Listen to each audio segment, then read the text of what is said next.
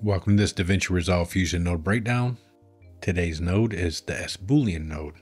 So we're going to jump into Fusion and uh, we've gone over plenty of shapes and we're going to start talking about combining and uh, bringing multiple shapes in other than just the merge. And one of the most important nodes for this is your S Boolean node. So uh, we're going to bring in a couple shapes first. So let's bring in uh, S star bring in a star shape and let's bring in a rectangle shape node. And of course, we could merge these together. So we have two nodes, but uh, we're to go ahead and bring in a S Boolean node. So shift space S Boolean, and we're to input it before our render. And we're to bring in our star to the background. And let's bring our rectangle into the foreground and plug our Boolean node into our render. So first let's go ahead and just add some color to our uh, star here. And some color to our rectangle. And there we go. So on your Boolean node, we've got a background and a foreground input so your operation works just like any other operation where we're intersecting, union, subtracting, or XORing those shapes together. So our background is our primary shape, our foreground is our secondary shape. And then down here on style mode, within our Boolean, we can change our style. So we can change the color of our overall node. And we also have the ability to change that alpha as well as our opacity and allow combining if we need to maintain that alpha value. Now under our operate or under our style mode, if we want to keep the original colors, we just select keep.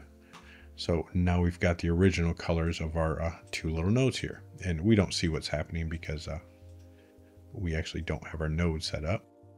So we can take our rectangle and uh, resize it to make it smaller. So now you can see right now our operation is intersecting those two shapes. Let's go to our star and make this a little more exciting. So if we change our operation mode to union, now we're union or combining both those shapes. Nothing is being cut out or removed.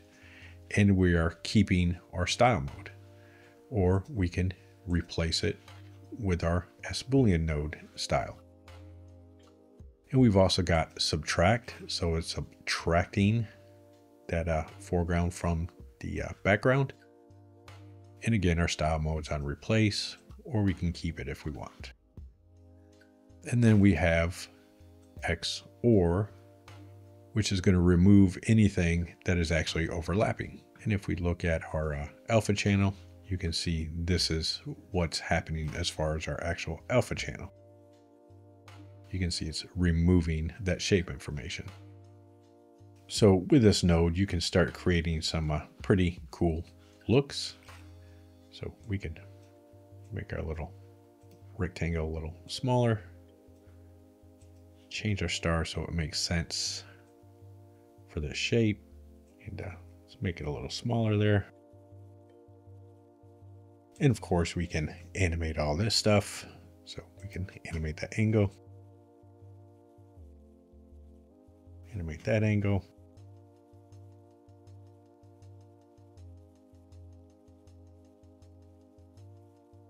Animate our square angle. And now we're going to have some weird trippy shape. And of course, these nodes, we cannot combine them. And uh, go ahead and replace. So we've got a single color going on. So if I want to bring in a, another shape, I can. So I can bring in another S Boolean and put this to my background. We can bring in a ellipse node, and put it. On our ellipse node,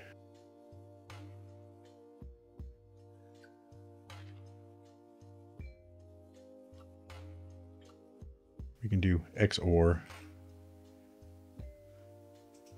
Let's uh, change that size a little bit. And now we've got a more interesting shape. And we can keep combining nodes, merging them together and creating a whole bunch of different stuff. But this is how you uh, do intersect and union operations with shape nodes. So that is S Boolean node. I will see you in the next node breakdown.